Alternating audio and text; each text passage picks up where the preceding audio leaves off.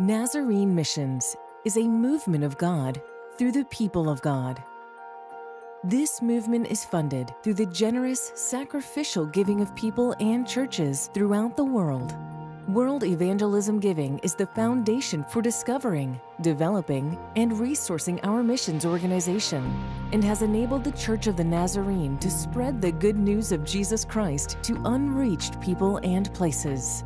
It is the cornerstone of our denomination's missional funding, with the largest portion of giving going to missions work in the Nazarene regions. These funds enable the regions to effectively implement church planting and discipleship strategies through local churches and ministries. Every church and individual in our denomination participates with their financial contributions to world evangelism, binding us together with a unified purpose and vision. Because of your giving, the Church of the Nazarene is able to develop and sustain worldwide communication, technology support, and new mission programs. All Nazarene missionaries, regardless of deployment status, benefit from the Missions Foundation created by World Evangelism Giving. Each missionary receives support, such as funding, insurance, and missionary care. Nazarene Missions International, Nazarene Youth International, Work and Witness, Global Missions, and many other ministries are supported by World Evangelism Giving. Independently funded ministries like Nazarene Compassionate Ministries, Jesus Film Harvest Partners, and World Mission Broadcast also benefit from the infrastructure it sustains. Through your giving, new churches worldwide are able to make an impact in their community. Those funds also train and equip pastors and church leaders in these churches. Pastors like Rafi, who fulfilled his call to ministry after escaping war torn Syria. Today, Rafi and his mother Lena have started two Arabic speaking churches in Poland. Your giving funds clergy development and ordination in the Church of the Nazarene and makes holiness education available worldwide through Nazarene institutions of higher education. Your giving provides resources and literature in more than 90 languages to churches all over the world. This includes resources for pastors and Bible based teaching materials for children, youth, and adults. Because of your giving, schools like the Armstrong Primary School in Cote d'Ivoire are impacting their community. School children are being taught Christian values, and the students and their families are being reached for the Lord. In Mark 12, we see the beautiful example of a widow giving abundantly. Jesus calls his disciples and points her out as the one who gave the most because she gave all. Our focus is not on how much we give. We give because we believe in a missional God who is at work through our Nazarene missionaries, reaching places and people we can't even imagine. We believe in a God who moves, and that belief, deeply seated in our hearts, moves us to give. We are a global church, a generous church, participating in the transformational love of Jesus Christ in our local communities. Together, through our world evangelism giving, we share Christ's love with the world.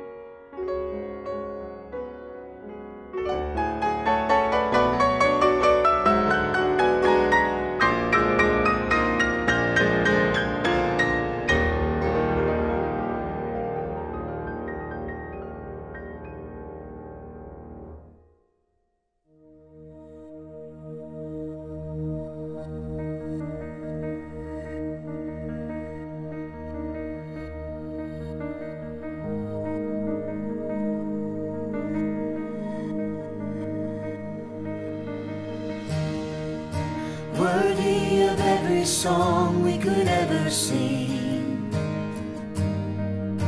Worthy of all the praise we could ever bring. Worthy of every breath we could ever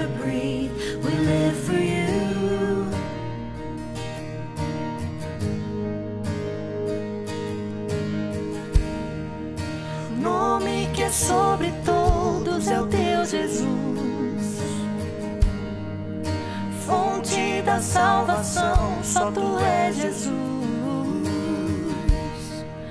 Digno da minha vida, tu és Jesus. Eu sou oh, teu, oh eu sou teu, eu sou teu. Tresse qui é semblable à toi, qui é comparable. Ouvre mes yeux à ta beauté.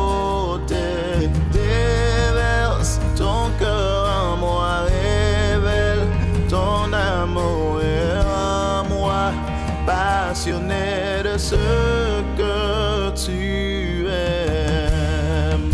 Worthy of every song we could ever sing. Worthy of all the praise we could ever bring. Worthy of every breath we could.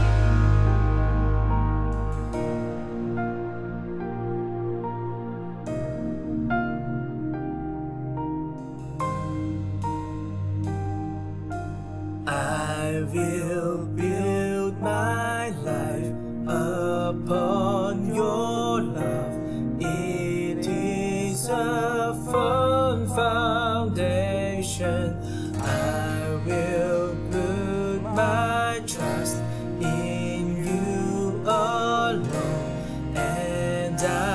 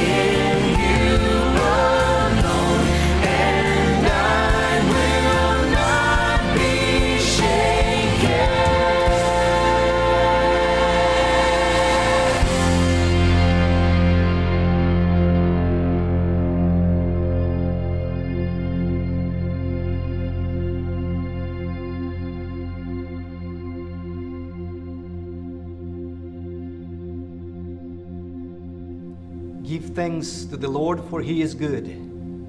His love endures forever. Give thanks to the God of gods. Aan sy liefde is daar geen einde.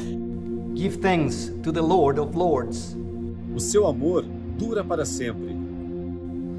To him who alone does great wonders, Hatong na koinenre winyay winyay who by his understanding made the heavens,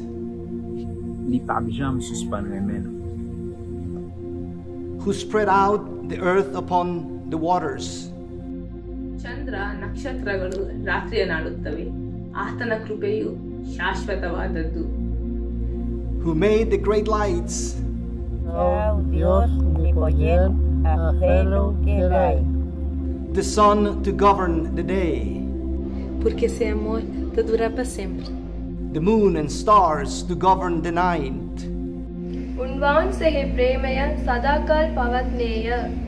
To him who struck down the firstborn of Egypt. and brought Israel out from among them.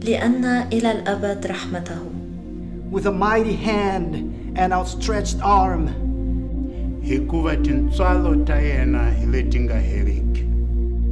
to him who divided the Red Sea asunder उहाँको प्रेम अनन्तकालसम्म रहिरहन्छ and brought Israel through the midst of it. তাহার দয়া অনন্তকাল স্থায়ী but swept Pharaoh and his army into the Red Sea. Rini malak loobas, nelik kakohik. To him who led his people through the wilderness, கத்தரை துதிங்கள் அவர் நல்லவர் அவர் கிருபை என்றும் உள்ளது to him who struck down great kings उसकी शफकत अवधि है and killed mighty kings, Mbëggeelam dafay sax ba abadan. Sihon, king of the Amorites, Потому что милость его навеки. and Og, king of Bashan, and gave their land as an inheritance. Car sa miséricorde dure à toujours. An inheritance to his servant Israel. Se amor te dura para todo tempo. He remembered us in our low estate. Նորա ողորմությունը հավիտյանեն. And freed us from our enemies. Uska prem sadaki hai. He gives food to every creature.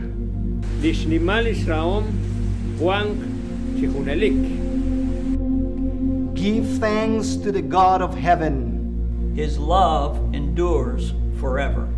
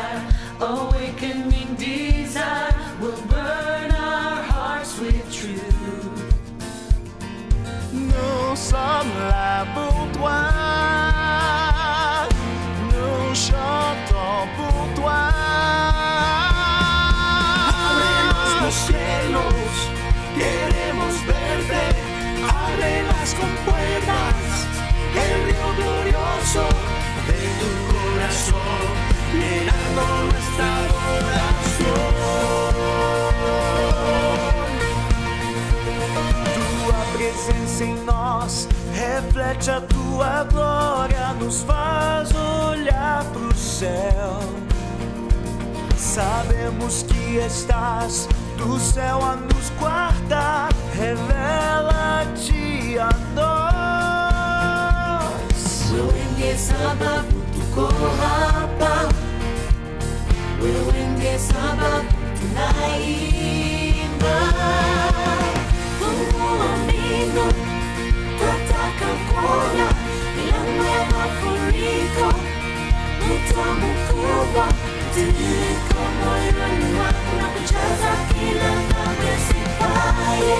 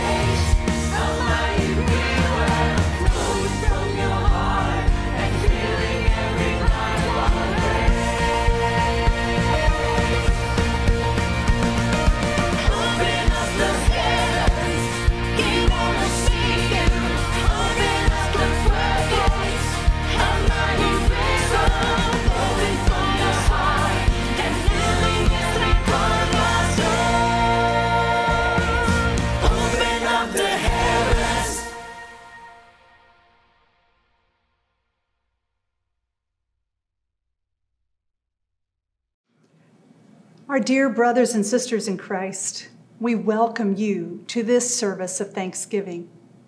This has been a most unusual year, and yet we are drawn toward giving thanks and praise to God. In the first century, Paul wrote a letter to the church in Philippi. And I know as leaders, we're not really supposed to have favorites, but many believe that this was Paul's favorite church. He loved these dear people who were learning what it meant to live for Jesus in a Roman colony. This was a town filled with people who took pride in having status, wealth, and power. Life in the church was one of a great contrast where the people of God were called to follow the humility of Jesus. Paul wrote to the church, and we read what he wrote in Philippians chapter 1, verses 3 through 11. I thank my God every time I remember you. In all my prayers for all of you, I always pray with joy because of your partnership in the gospel from the first day until now. Being confident of this, that he who began a good work in you will carry it on to completion until the day of Christ Jesus. It is right for me to feel this way about all of you, since I have you in my heart. And whether I am in chains or defending and confirming the gospel, all of you share in God's grace with me. God can testify how I long for all of you with the affection of Christ Jesus. And this is my prayer that your love may abound more and more in knowledge and depth of insight, so that you may be able to discern what is best and may be pure and blameless for the day of Christ, filled with the fruit of righteousness that comes through Jesus Christ to the glory and the praise of God. Just imagine that Paul wrote this letter while he was in prison in Rome. These were difficult days. These were days that would eventually lead to his death, and yet he was filled with praise and thanksgiving. The church in Philippi had sent one of their members to Rome to help care for Paul. Along with this person, they had sacrificially sent financial support. No wonder he wrote, I thank my God every time I remember you. He had a person with him who was a living reminder of the faithfulness of the people of God. Pastors, leaders, laypersons, we thank God every time we remember you because we have seen you in action throughout these past months, through these months of the pandemic. The Lord knows what you have accomplished, and how much you have done for his kingdom. Words of gratitude remain on our lips and in our hearts as we think about the sacrificial ways you have remained interconnected and the ways you have supported one another throughout this unusual season. I thank my God every time I remember you. In Philippians 1, verse 3 and 4, Paul's thanksgiving is expressed in prayer. He said, I thank God in all my prayers for all of you. Thanksgiving and prayer appear to go hand in hand for Paul.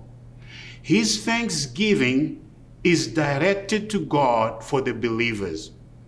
The insertion, all of you, prayers for all of you, emphasizes inclusiveness. This is not a prayer for a segment of the church, it is a prayer for the whole church. It is characteristic of Paul to include all, regardless of where they are on their spiritual journey. Paul believed in shared participation in Christ. They were united in Christ. Paul identifies himself as one with these believers. They were all the body of Christ. Paul gave thanks for all, regardless of their status, because he believed that Christ makes it possible for humanity to know and experience full salvation. He had confidence that God continued his work in their lives and their circumstances and context. Another important aspect of this text is the insertion in all my prayers. In all my prayers suggests a regular, ongoing habit of prayer for the sake of the church. In his regular, ongoing habit of prayer, he offers thanks to God for the church. Paul's prayer was characterized by communication and communion with God on behalf of others. It is love and concern for the church that leads Paul to converse with God, at least in this particular context. Paul petitions and intercedes for the church's sake. He presents himself and expresses a willingness to participate with God in carrying the world's burdens and the burdens of the church. Like Paul, we are thankful for the church, not a segment of the church, but the whole church. We are thankful that the church is continuing to deepen its knowledge of God and experiencing His work in and through us. In particular, this year, 2020, we are thankful for the way the church is responding to the global pandemic and the many other challenges that our world is facing today. The church has been selfless in many ways. Thousands, if not millions, inside and outside the church have experienced the love and care of God through the church. This does not mean that we are superhumans.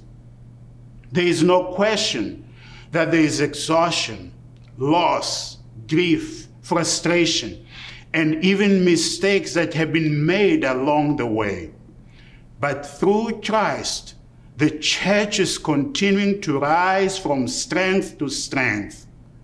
We are convinced that this is a result of the many prayers offered for and by the church. So, in this Thanksgiving service, we offer thanks to God for the church. We thank God for in Christ we all have become participants in his mission. We thank God for the work He's doing in and through the church to restore and to redeem the world. We thank God for His gift of grace for salvation and deliverance from the power of sin. We thank God for continuing to perfect holiness in the church. Our thanksgiving is filled with joy. How could Paul say, I always pray with joy? Always? Consider this. He wrote these words in prison, victim of gross injustice. Some common words to describe a prisoner are frail, useless, in the dark, disrupted, broken, humiliated. There is no sense of joy in any of those words. Paul refused to let them take over the delightful thoughts that the Holy Spirit brought out of his relationship with Christ. Paul decided to trust not to himself, but to the Holy Spirit, the keeping of his joy. In his case, the joy of seeing how his brothers and sisters were engaged in the proclamation of the gospel. In Philippians 1 4 to 5, he said, I always pray with joy because of your partnership in the gospel from the first day until now. Paul was all about proclaiming the gospel of Jesus. So, partnering in it gave him nothing short of this abiding, consistent joy. The same tone is found in verses 12 to 14. Now, I want you to know, brothers and sisters, that what has happened to me has actually served to advance the gospel. As a result, it has become clear throughout the whole palace guard and to everyone else that I am in chains for Christ. And because of my chains, most of the brothers and sisters have become confident in the Lord and dare all the more to proclaim the gospel without fear. The word advance or progress of the gospel comes to us with brilliant sense of pioneering, which is the heart of an apostle. The church is about Jesus and our partnership in this gospel.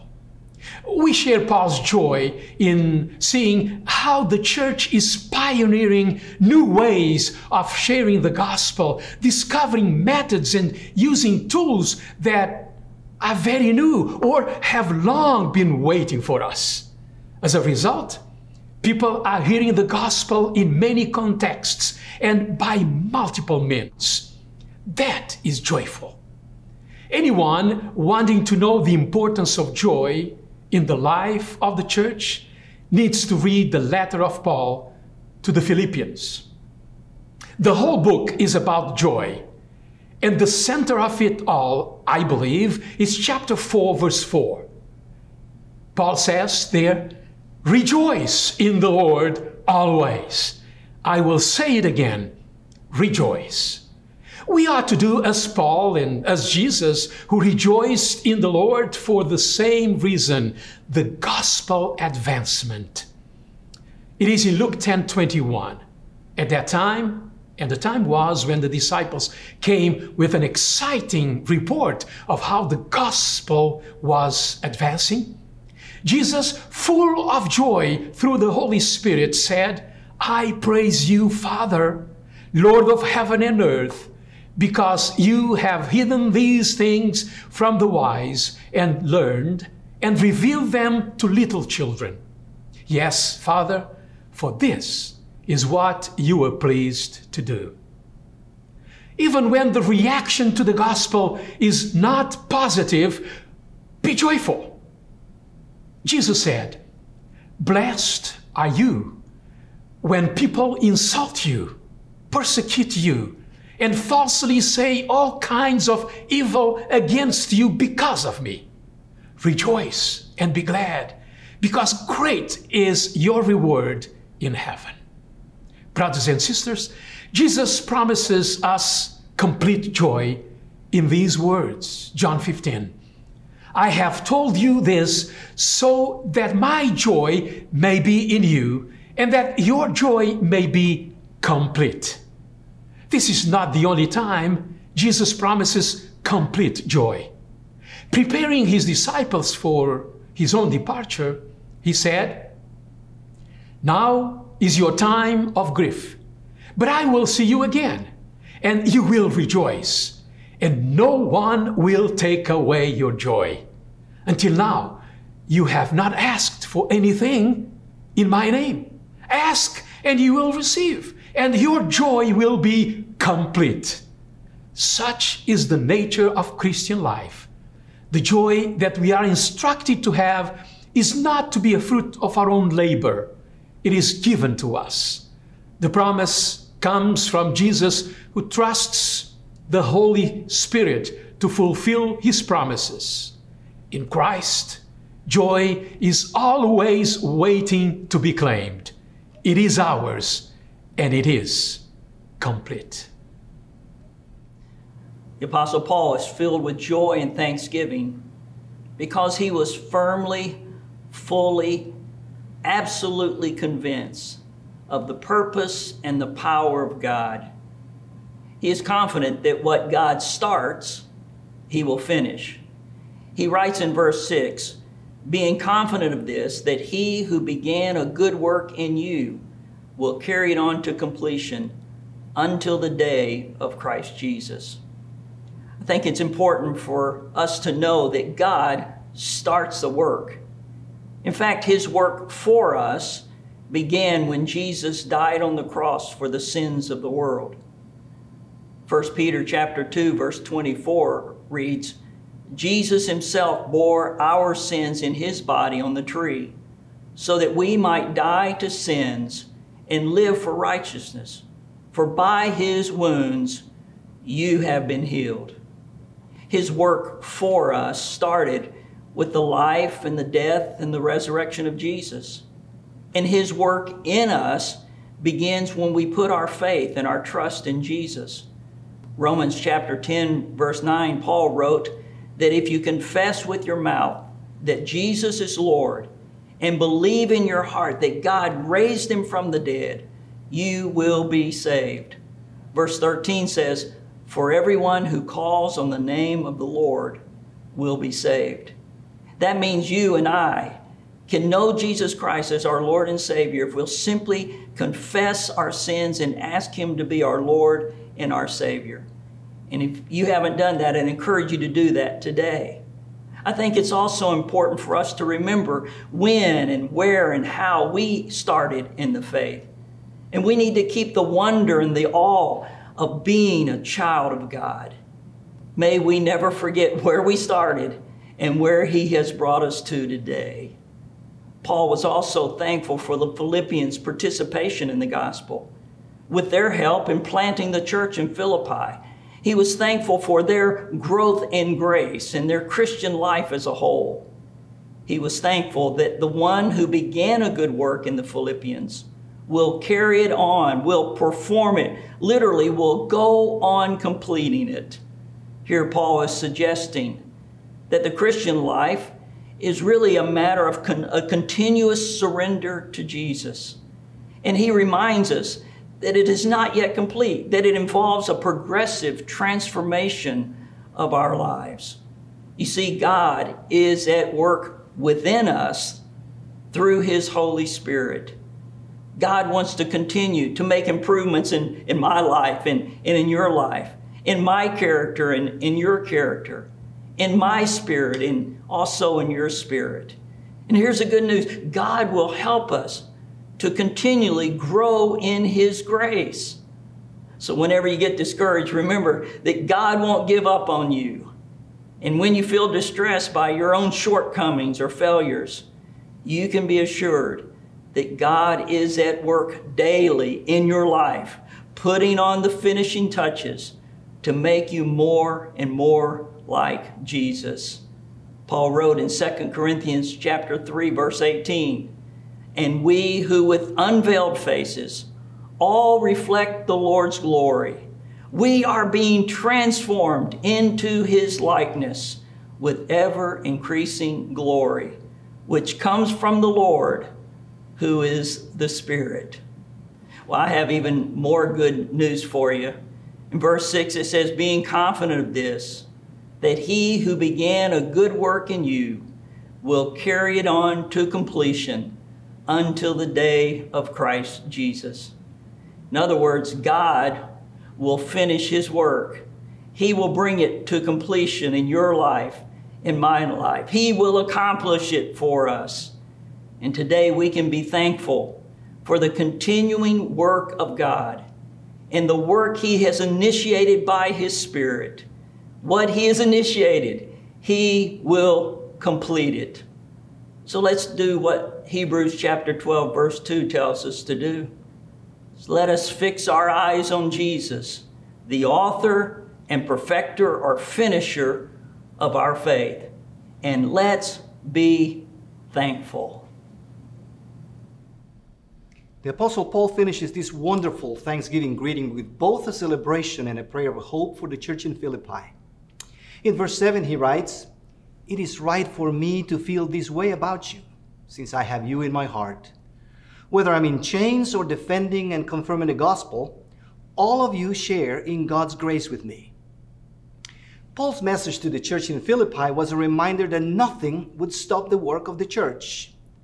That whether in prison or at the courthouse defending himself, whether in a time of pandemic or in a time of economic distress, the people of God did not stop witnessing and sharing the grace of God. It is no wonder that he wrote to the church in Corinth celebrating the ministry of the Macedonians.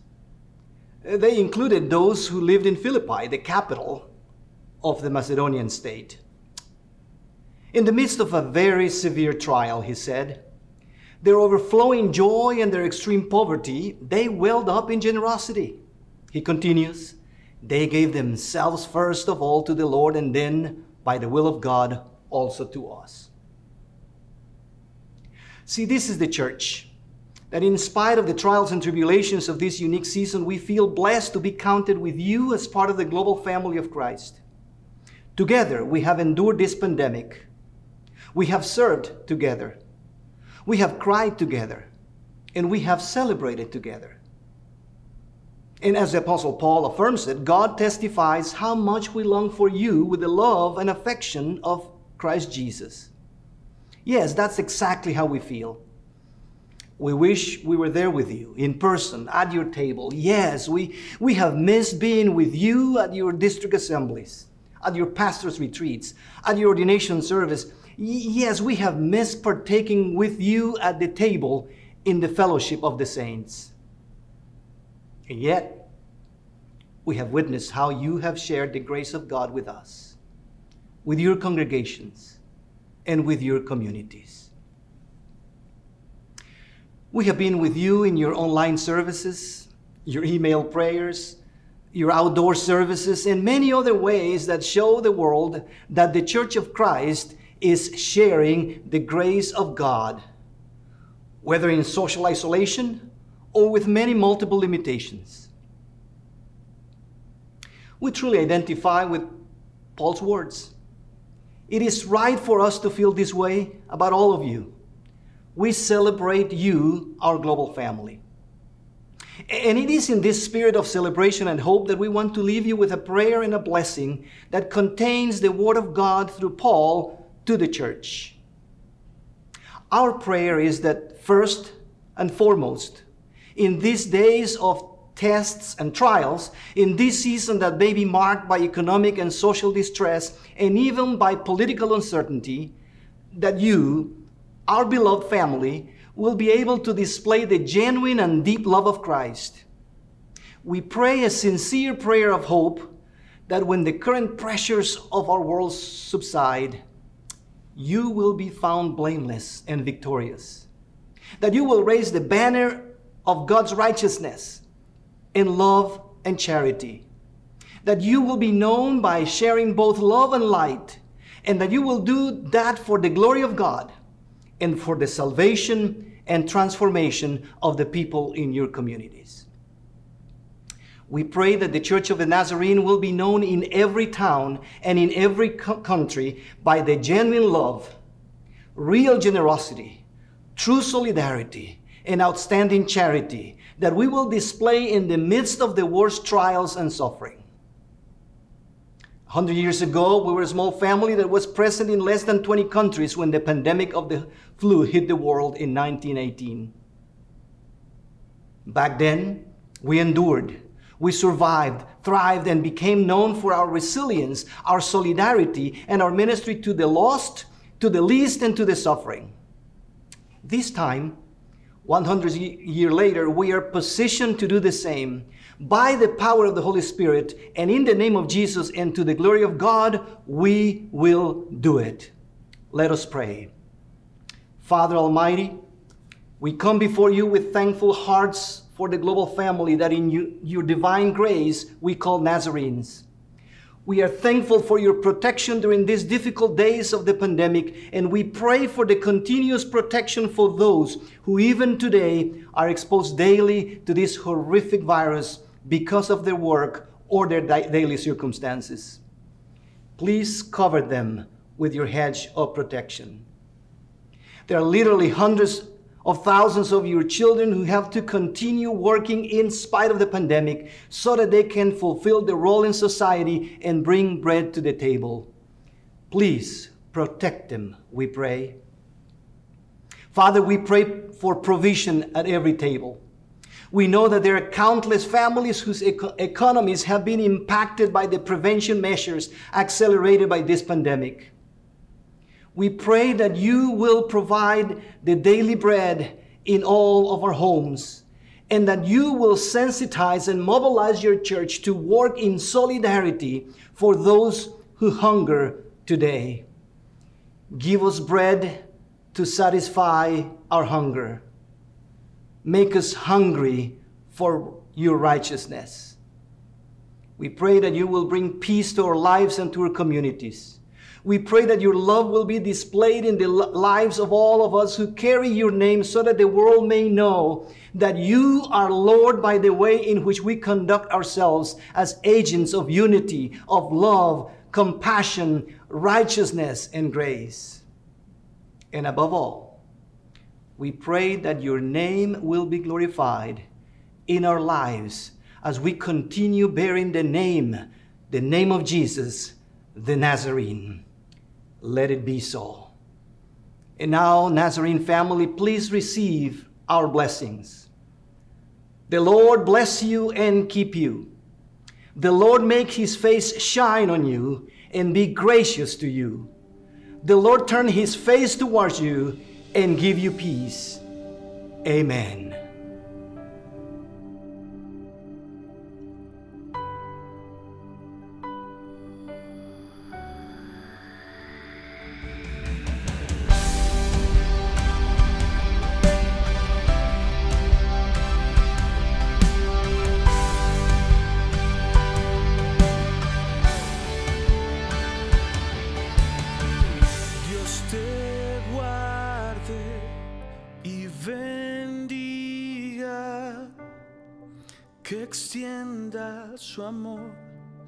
Te muestre favor.